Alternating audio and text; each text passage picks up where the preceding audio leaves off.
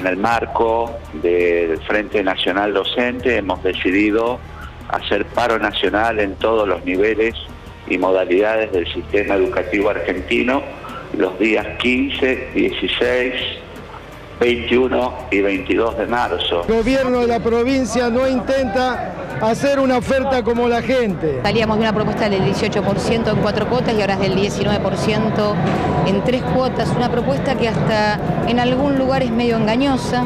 Hay aumentos que significan 67 pesos, 80 pesos, es la misma propuesta reformulada.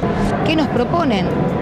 Una suma de 500 pesos por única vez no remunerativa. Es una compra de supermercado muy barata la que nos proponen. Lo que se necesita es recuperar masa salarial. Hay una paritaria nacional que no se convocó y está influyendo sobre esta paritaria y la de toda la, la República Argentina.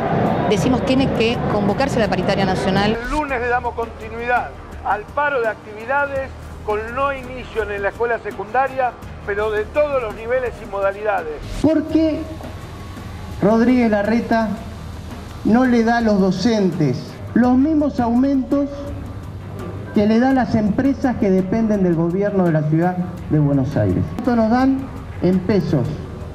En marzo, 1.630 pesos. Y en agosto, 400 pesos más.